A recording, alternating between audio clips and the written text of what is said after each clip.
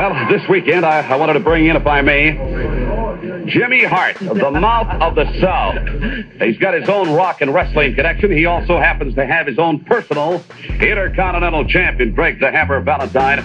Uh, the great one out of Seattle, Washington. What are you laughing about? You know what? It's amazing. I'm laughing at, you know, before we came in, you know, Greg gets thousands and thousands of cards and letters each and every week. And we go through a few of them, you know, and they're so stupid. Can you believe? A lot of the letters said that. What are they, bills or what? No, let me tell you, man. That's cute, real cute. But let me just tell you what they're about. You know, they send things in like, you know, Greg the Hammer, he's not a real champion. Let me tell you people something. This is the greatest professional athlete in the world today, a living legend, the Intercontinental Heavyweight Champion. He'll probably hold this belt for the rest of his life if he wants to for the rest of his life. You know, Greg Valentine, uh, on, on the lighter side, I received a telephone call this past week from Liberace. He just has to find out who makes these lovely robes for you. How much do they cost? Yeah, well, he should find out. Cost makes no difference. You know, $5,000 is nothing for me, if you really want to know. Liberace, of course, he's got all kinds of money, but one thing he hasn't got that I have, and I have my rock and roll wrestling connection. And he don't know anything about rock and roll. Are you kidding me? See, you He's have, not one of my favorites and never has been. I don't think I'm one of your favorites either, uh, Greg Valentine. You're a football. Neither was the real Don Steele. The real- you know, you talk about a $5,000 robe. Why is it you stiff me for a $50 breakfast in Los Angeles? They're not that funny. Because there's a sucker born every minute, right, Greg? I just figured that you had enough class not to say anything and just pick the tab up. After all, you're a first-class announcer. yeah. It's just like I'm a first-class wrestler. Thank, thank you very much. I appreciate that. But you know why? How can I have dandruff if I don't have hair? You're be kidding me. You know why rock and roll is so great?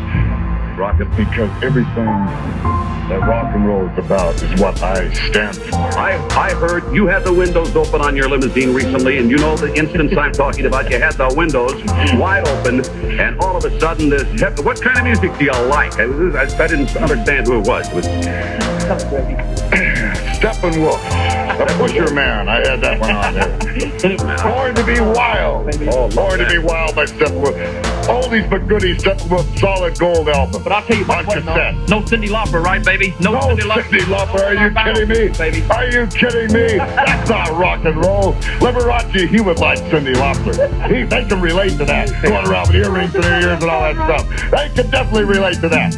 Well, I like- 10,000 rings hanging on your fingers. I mean, who needs that? You know, who needs that? I like money in the bank. You just understand? Because I've always been a rebel. A rebel coming from underneath up to the top. You understand? And that's what rock and roll is really about. Not a bunch of rich kids getting out there singing like Liberace. Of course, he's no kid. That's what he used to and he doesn't sing either. But But Cyndi Lauper, Cyndi Lauper. Uh, Oh, yeah, what you want to call him, rock, rock. Lip. Lock. Still controversy hanging over the head of Greg the Hammer Valentine as the Intercontinental Champion. Well, I'm ready and I'm waiting. I said I was going to be the greatest intercontinental champion of all time, and I'm waiting. I put my name on that dotted line. You don't think I'm afraid of you. None of the fans in New York City, none of the fans in the great Madison Square Garden, the greatest arena in the world, none of them believe that the Hammer's going to back down. I'm going to stay the champion. Man's a maniac. You understand me? He doesn't care. He's looking all those fan letters telling him to get back in there and get that Intercontinental belt away from that nasty, no good Valentine. But you better think about something. You better think about your family. You better think about that leg. You better think about your wrestling career. Go ahead and wrestle the preliminaries. Be safe. But don't step in the squared circle. The champion, the hammer, who's going to pound you right down. I'll put the figure four leg lock on again. I'm ready. the master of the figure four leg lock, Greg Valentine. He is not hopeful, he is certain of it. The figure four, nobody can get out of it. And here is your new champion, Greg Valentine. Valentine, a comment? Look how I'm dressed, Vince McMahon. I am dressed this way because I am celebrating.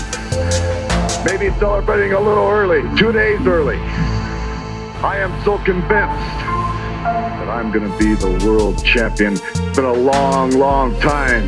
Two years down the road, a lot of road work, but I am ready. I am ready for Monday night in the garden. The figure four leg lock is ready. The spinning toe hold is ready. You know, a lot of people say, Greg Valentine, you're so conceited. You're overconfident. No, that's not the word for it. I am just convinced. I am convinced because I know he knows what I can do and he knows I won't back up. I won't give up. I'll take him to the bitter end. I'll run him from pillar to post. And then I will put that figure four leg lock on him and he will not, he will not be able to get out of it.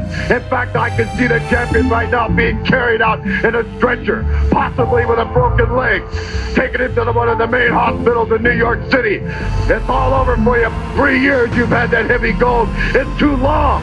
You went through too many tough opponents. But now you are ripe. You are ripe for the picking. You understand what I'm talking about? The Grand Wizard knows what I'm talking about. The fans in New York City know what I'm talking about. And I'm going to take that belt. The 10 pounds of gold are going to be around my waist. The world champion, Greg Valentine. You are looking at him right now. A face. A face of determination